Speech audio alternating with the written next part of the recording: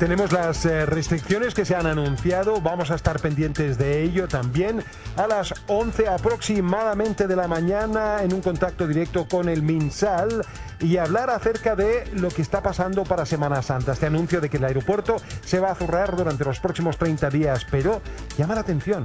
El año pasado, restricción total, Semana Santa. Hoy no estamos acaso peor y la restricción no es total, Sergio. Muchas cosas eh, que siguen dando vuelta y que nos seguimos preguntando. Y también estamos junto a nuestras tres doctoras súper poderosas, la doctora Karina Herrera, la doctora Janet Vega y la doctora Francisca Crispi, a quienes les agradecemos eh, su presencia. Vamos a presentar eh, un reporteo que realizamos con, mucho cariño, con mucha humildad, también con mucho miedo, debo decir. Yo me asusté mucho al estar en el espacio en el que ustedes habitan casi habitualmente, diariamente. Y es un trabajo que espera graficar y para que usted no se olvide, estamos una situación muy compleja, crítica, donde hay tantos y tantos chilenos ya fallecidos. Vamos a recorrer el hospital Eloísa Díaz de la Florida. Mira.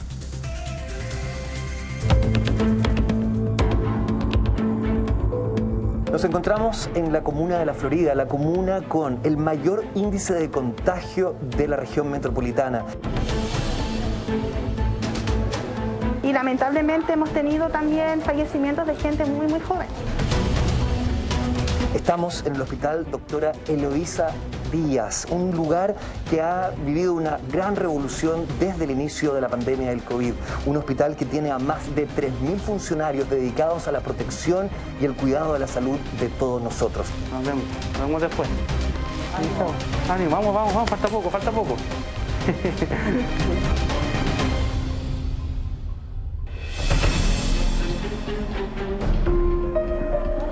Estamos buscando al director del hospital, el doctor Rubén Llenero. Doctor, ¿cómo está? Lo interrumpo. Bienvenido. ¿Sí? Eh, lo veo en, una agitada en plena acción, como todos los días nomás. Esto no para nunca. Un día normal en pandemia. ¿Cómo describiría eh, la situación que vive el hospital y sus funcionarios el día de hoy aquí? Es una situación súper intensa, la verdad es que estamos muy apretados, estamos muy exigidos, pero estamos respondiendo. Como queremos o nos gusta decir acá, estamos resistiendo.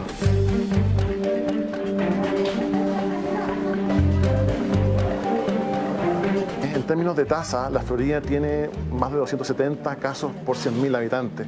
Eso para las comunas de mayor de 300.000 personas es muy grande, es mayor que Santiago, que Maipú, que Puente Alto.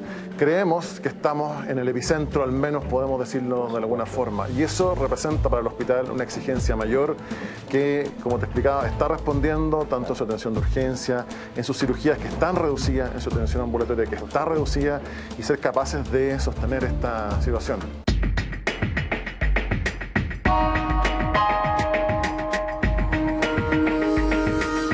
Ingresar entonces. Acompáñanos eh, para que descubramos el intenso mundo que se vive en la UCI de este hospital aquí en la Florida.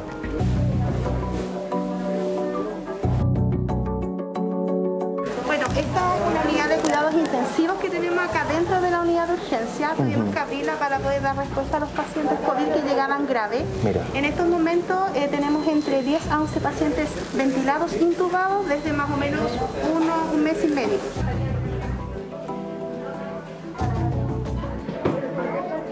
Paciente que está pronado en estos momentos, para que puedan entender, está acostado de guatita. A eso le llamamos la situación de cronación. Cronación. Están haciendo un cambio de la fijación de los tubos de los, de los, de los ventiladores que nosotros le ponemos a los pacientes. Y cambiarlos eh, para que se mantengan limpios y es algo que tenemos que hacer sí o sí porque si no eh, se puede salir el tubo y eso es terrible, porque hay que entubar nuevamente al paciente. Generalmente, imagínate, tendríamos que darlo vuelta, ponerlo de espalda y eso hacerlo en dos segundos. Entonces las chicas están haciendo el cambio de fijación, van a cambiar el cojín que le ponemos a los pacientes debajo de la cara para que no se lesionen. Eh, hay pacientes muy jóvenes, eh, nos acabamos de encontrar con un paciente que tiene 43 eh, años, es una persona que sin duda jamás se imaginó que iba a estar aquí junto a otros luchando por su vida.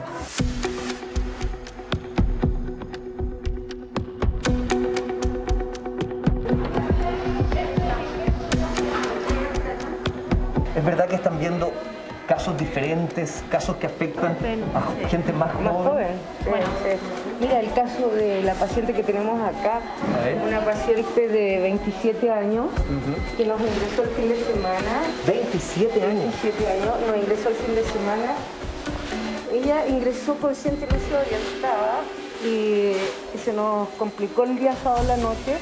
Hubo que entubarla, hubo que pronarla. Bueno, ahora eh, está supina, pero esto de ahora... ¿Ella está estable en este minuto? Eh, es- es- la está peleando. Positivo, digamos, del hecho de que ella tenía un embarazo de 12 semanas. Cuando dices entonces- tenía o tiene. No, eh, lo más probable es que sea inviable por la situación de la paciente. Ella cuando ingresó estaba, eh, hablaba, eh, consciente, Estaba consciente. claro, se fue descompensando a través de la tarde. Yo me fui, pero horrible ese turno. Pero como bien te decíamos antes, o sea, uno se tiene que volver a armar cada día, o sea, la resiliencia sea, está constante.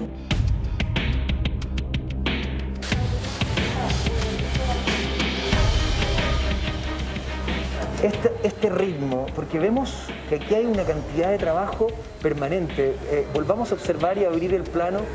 Este ritmo de trabajo no se detiene a las 24 horas. No. Pues, Mira, En este minuto llevan una paciente escáner, una paciente grave que tiene que, bueno, a través de las imágenes, monitorizar cómo va el estado de su COVID.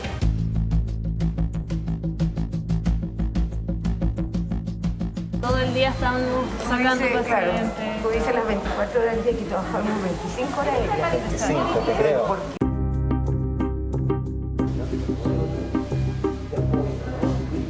Javiera, entonces se te hace vestido para poder ingresar a este pabellón donde se encuentra un paciente. ¿Qué edad tiene este paciente? Este paciente tiene 36 años, un paciente joven, sin antecedentes mórbidos, o sea, no tiene ninguna enfermedad previa de base y está aquí por COVID. La tónica es que sean pacientes jóvenes, han llegado muchas embarazadas, han llegado pacientes sin antecedentes mórbidos. Muchas eh, embarazadas. Sí, hemos tenido en este último periodo por lo menos cuatro embarazadas. Y los embarazos muchas veces No, logran continuar y otras no veces siempre. se suspenden. Un paciente que está con drogas vasoactivas, que está con ventilación, no puede seguir su embarazo necesariamente. O sea, muchas veces hay que optar por la interrupción para salvarle la vida a esa persona. Y Olivia. Ellas van a estar en este minuto haciendo el aseo del paciente. Ajá. Es un aseo complejo, como pueden ver, el paciente está dado vuelta. Claro. Y no es como bañar a una persona en la casa. Me o sea, todo no. se baña por partes, ¿ya? Pero es súper importante mantener la higiene. Esto lo hacen cuántas veces al día? Todos los días. Todos los días. Todos los días y si en el día requiere más veces, se hace más veces. Y acá vemos in situ cómo un equipo médico hace labores cotidianas, diarias de cuidado y protección de sus pacientes. En un rato más lo vamos a dar vuelta, así que en realidad tiene que estar listo para poder soportar ese cambio de posición.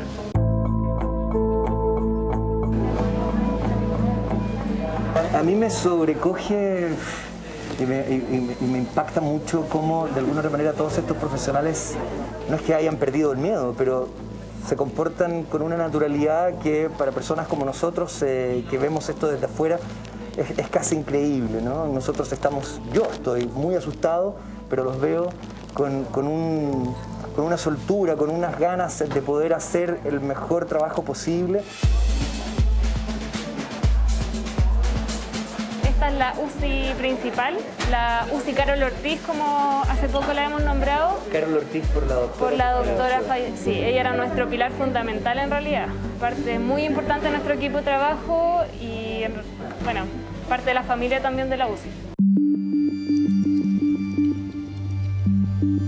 Con Carol no solamente éramos colegas, sino que éramos muy cercanos, cercanos éramos amigos. Ah, ella formaba parte fundamental de, nuestro equipo, así que fue una pieza fundamental que lamentablemente se nos fue por la, por la misma enfermedad. Y la esencia de la Carol no solamente era a nivel del profesionalismo que ella tenía, que era excepcional, sino que además de las características humanas que ella poseía, el cariño que le daba a los pacientes, a las familias y a todo el personal. Todos nos sentíamos muy amigos de ella, todo el personal se sentía amigo de ella.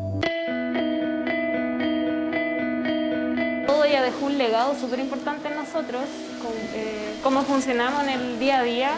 es parte también pensando en lo que ella nos hubiese dicho, en lo que aprendimos de ella. Y bueno, muchas veces nos estaría dando la garra también para poder sacar a todos los pacientes adelante, porque cuando las fuerzas flaqueaban, ella estaba siempre ahí eh, dando el apoyo que necesitábamos.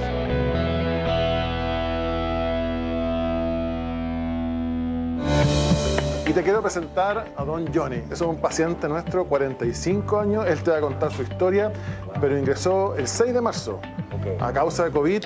¿Cómo le va? Hola, Sergio. ¿Cómo está usted? Un gusto de saludarlo. Muy bien, ¿y usted? Cuéntame, Johnny, entiendo que ingresaste hace un poco más de un mes. Claro, claro. Me sentí mal, un choque en la cabeza muy fuerte, fiebre. Llegué a urgencia, estuve en sala un par de días y me, me descompensé demasiado. Y de ahí empecé hasta que me entubaron. Tuve cuatro días entubado. ¿Sabes cómo te contagiaste? Por mi padre, por mi padre, pero mi padre tiene 84 años ya, pero gracias a él le dio suave, porque tenía una dosis de la, Ya, de la inyección. ella tenía una dosis le, de la vacuna. le ayudó mucho, sí, claro. sí. Y cuando ya sabes que tienes COVID, el proceso fue muy vertiginoso. Claro, fue, pero rapidísimo. Nunca pensé yo que iba a llegar a ese extremo. Estuve con una neumonía y unos coágulos en el pulmón bastante complicados. Y ya muy recuperado, ya ¿Cómo recuerdas, perdona que te lo pregunte, pero cómo recuerdas el momento en que te van a sedar? ¿Tú fuiste consciente de No, aquello? Nada. Llegué y creo que en la noche pegué un remesón y me llevaron por urgencia a la UCI. No, ¿Cómo tienen que fue cuidarse. el despertar? Complicado, imagínate. Ver máquinas por todos lados, gente que está toda conectada por todos lados. Impactante. Me pegó muy fuerte, muy fuerte. Uno, uno cree que no le va a llegar nunca. Pero sí, esta enfermedad es tan complicada que en cualquier minuto te agarra. Uno de los principales problemas, Sergio, de COVID, de esta situación, es que además no podemos tener visitas. Tenemos muy restringidas. Esto, esto cambió toda la dinámica hospitalaria. Lo intentamos remediar a través del trabajo de nuestros equipos sociales, de nuestros clínicos, a través de ¿Y nos vamos a videollamadas. contactar con la familia Exacto, de Johnny? ¿Cómo lo hacemos? ¿Quién es Elizabeth? ¿Es tu hermana? Ella es mi hermana, debe estar con mi padre también. Ok. Elizabeth, ¿cómo te va? Le voy a dar con Don Johnny. ¿Lo he echado mucho de menos? Mucho. Es que somos una familia muy unida. Me imagino que sí. ¿Con quién está? Es mi papá. Ajá. Súper. Su hijo me acaba de contar que estuvo eh, no tan enfermo como su pequeño aquí. Pero qué bueno que esté bien. Le voy a dar con su criatura para dejarlos con su hijo que ya está en franca recuperación. Aquí está, se lo dejo, amigo mío. Qué gusto verlo, ¿cómo han estado? Aquí yo ya pronto llegaré a casa. Sí, eso lo estamos esperando ya luego, porque ya lo deseamos mucho aquí en la casa. Ya, pues hermanita, gracias. Chao familia, nos vemos. Chao, los dejo aquí conversando con el campeón.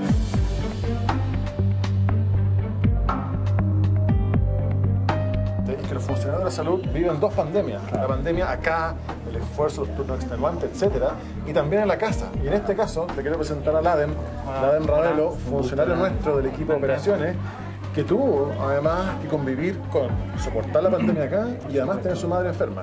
¿Cómo, ¿Cómo conjugaste esta situación? Estar trabajando aquí en el hospital y luego recibir a tu mamá.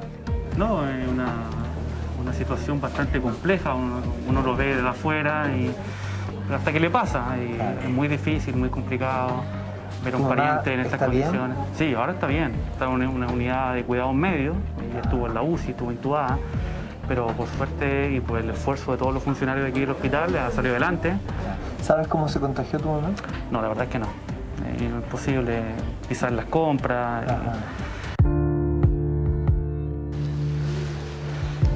Me tenés que hablar, tranquilita. Se llama Alicia Zagardía. Ya lleva de acá del, del 2 de marzo. Fue intubada, pasó por la UTI y, y ahora está en unidad de cuidados más básicos, porque ya está saliendo y logró salir de esto. Bueno, el COVID así. Al principio tuvo un poco de dolor muscular, un poco de fiebre.